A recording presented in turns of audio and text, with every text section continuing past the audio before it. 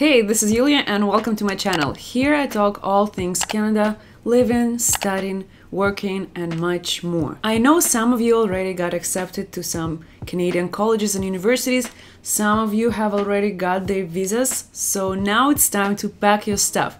In this video, I'll be sharing a list of things that you might need when moving to Canada. So if you're ready to pack your bags right now, then keep on watching. Let's start with the basics. Clothes. Should you bring a lot of them or should you just bring something to wear for the first month or two? My answer would be bring something to wear for at least three months. So if you come in in September, then bring warm stuff. You might as well bring your winter jacket with you, but this is a tricky one because let's say you live in a warm country and for you winter is like plus 15 Celsius.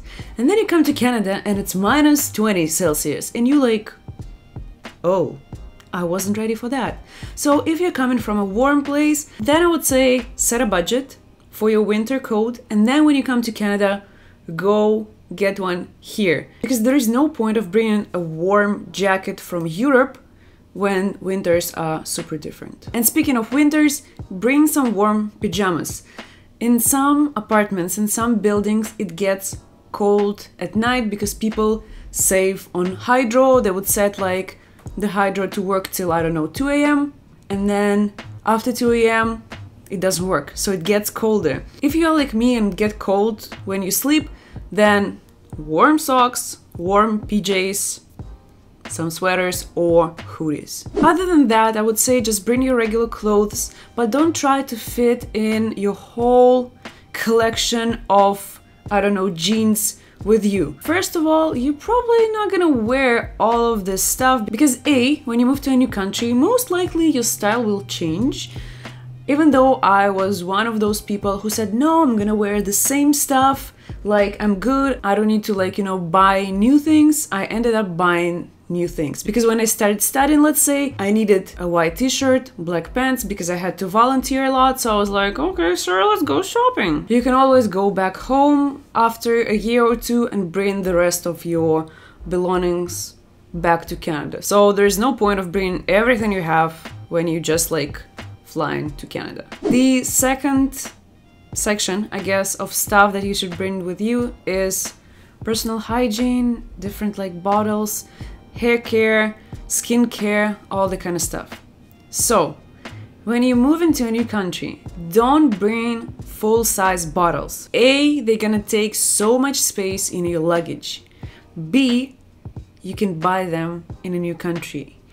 I'm pretty sure if you move into Canada, you have money to get a new shampoo for like $3. So don't bring all this, you know, huge bottles unless it's something like, I don't know, prescribed or that's the only shampoo that works for your hair, then sure thing, take it. I used to have a shampoo for my platinum blonde and it was the best shampoo ever and I could only get it in Russia, so I had to bring it with me. But other than that, don't waste your luggage space on different like bottles. Just bring your toothbrush, toothpaste, floss, they don't take much space.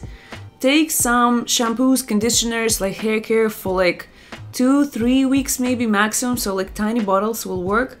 Then you'll get new ones. If somehow you have these huge bottles at home and you're like, but I've just bought my favorite shampoo!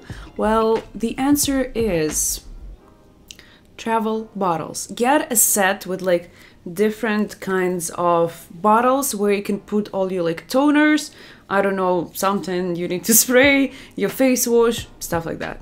As for the makeup, my dear ladies and gentlemen, we have Sephora here, we have a lot of online stores. If you move into the US, they have Ulta, so I'm pretty sure you will find your favorite lipstick or lip gloss there, so no need to bring a lot of stuff with you. But also, who's gonna put makeup at 7 a.m. in the morning when you go into a college? Not me. Another group of products that you should be aware of is your pills, is your medical things.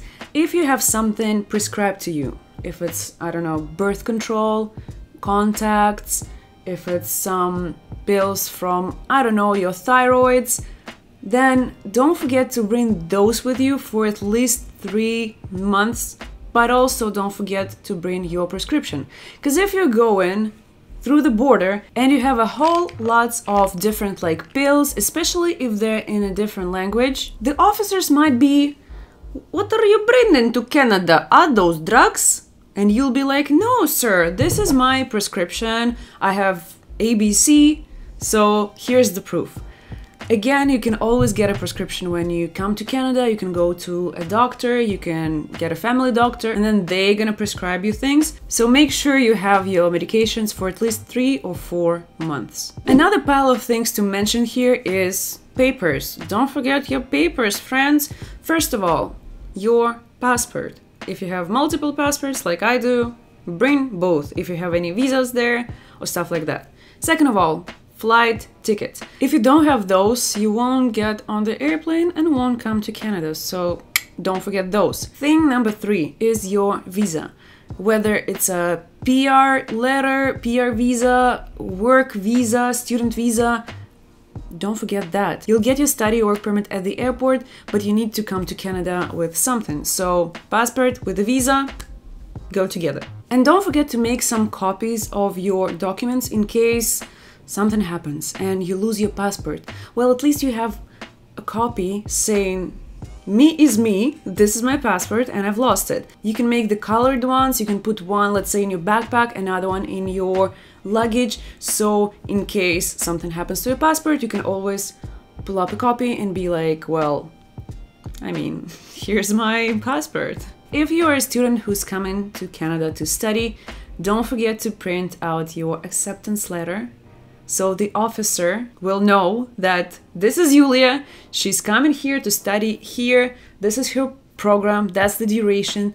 So in case they need to verify some information with you, you will show this letter and the officer can take all the info from it. Another thing that you can bring with you to Canada or to another country is your driver's license. If you have experience driving in your home country, well, first of all, check if Canada or rather the province have an agreement with your country. Therefore, you will know what document you need to bring in order to exchange your license. This is basically what I did because I had, I think, five years of driving experience, so I had to get a translation and then exchange my Russian license to an Ontario one which was super easy. I didn't have to go to any like driving schools. I had to pass only like the road exam, so it was super easy. If you don't want to like pass exams and go to a school, just get your driver's license from your country with the translation with all the required documents and you'll be like good to go. And some information for my rich people out there. If you have expensive jewelry or you have, I don't know, a Rolex watch, bring all the certifications, bring all the papers you have for these things. Because they can stop you at the border and ask questions, and if you can't show the proof that it's yours, that you paid for it, that you paid, I don't know, taxes, all that kind of stuff, then you might have some problems entering Canada. But I guess if we all come into Canada to study, huh, what kind of frolics are we talking about, right? And the last category is gadgets. First of all, don't forget your phone. It's better to get an unlocked one so you can basically come to Canada, get a SIM card, insert it, and then use it. If you want to get like, you know, all these phones for zero dollars, well, I have bad news for you because you are new to the country. They won't sell you these types of phones. You need to, I think, live for some time, have a credit card, all this, you know, Canadian stuff. So get an unlocked phone and then you'll get a SIM card when you land here. The second thing is your laptop. If your program requires you to bring a laptop, then don't forget about that. You can always bring a tablet, but again, it depends on your program of study if you're coming here to study. If you're studying IT, well, for sure you will need your laptop here. If you're studying, I don't know, event management, well, then iPad will work just perfectly. Also, don't forget to bring your power banks, your cables, because if your phone dies at the airport or somewhere, but you need to meet your, I don't know, host family, you need to meet someone, well, then you'll have this and you can charge your phone. I mean, it's super obvious, but some people still forget these things. So get a power bank, get your cables ready, and go to Canada. The next thing is super important, but if you can't buy it in your own country, it's totally fine, and it's the adapter. In Canada, we have plugs like this, so you need to get all of your adapters so they can charge your things. They sell it everywhere here at the airport, in Dollarama, like any store, even I think like gas stations have them. So if you come to Canada, then you realize that you forgot one of these, don't worry, go to the nearest store, go to Walmart and get the adapters there. A pro tip from me, bring a pen. I made this mistake, I don't know, hundreds of times. Every time I go somewhere, I'm like, I'm traveling light, but then I come back to Canada. And when you come here, you have a declaration to fill in. If you bring in any food, if you bring in any like seeds, anything, I had to ask for a pen every single time. I mean, I know now it's electronic, the declaration, but you never know what things you'll need to sign, you know? So just put it in your backpack, in your purse. It literally takes like no space, but when you need to sign something, you have a pen. And another pro tip from me, don't bring useless stuff. You know, some people are like, oh, I have a teddy bear that was with me since I was born. Uh, this pillow, I used to sleep on it for like 20 years.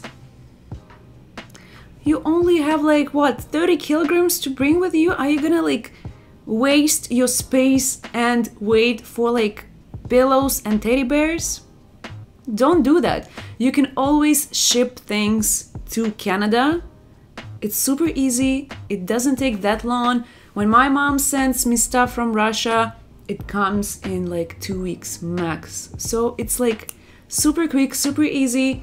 You can always buy things here in Canada. We have like everything you can possibly think of. So if you want a new teddy bear, just get one here in Canada. And also don't bring food I know some people miss their countries and they're like, oh my god, how am I gonna live without my grechka, my buckwheat? Well, I have some information for you. If you go to Google and Google Russian store, Ukrainian store, uh, I don't know, Indian store, Spanish store, European store, there's gonna be so many of those. I mean, if we're talking about large cities, if we're talking about tiny cities like the villages, I don't think they will have a Russian store with buckwheat, but if we're talking about Toronto, Montreal, Vancouver, Ottawa, they all have those kinds of stores and you can buy your traditional Russian food, Ukrainian food whatsoever. So yeah, don't bring food unless it's something dry, unless you have a lot of space in your luggage, but I doubt it because when you move to Canada you have so much stuff to bring. So yeah, this is it for today. If you move into Canada, I wish you the smoothest move in this uncertain times. I know it might be tough for the first two weeks, but then it's gonna be alright. And I'll see you very soon. Bye!